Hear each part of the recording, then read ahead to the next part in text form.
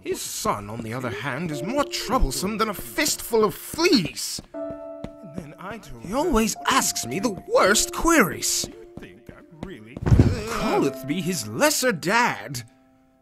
What are you doing, you brat? Our relation is none, you little water beetle.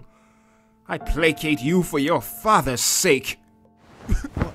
I do not wish it to hear your MP3s. I would rather listen to the sweet song of death. What?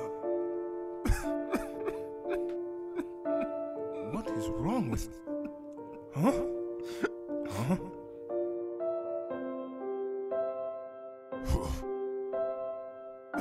How is he, anyhow?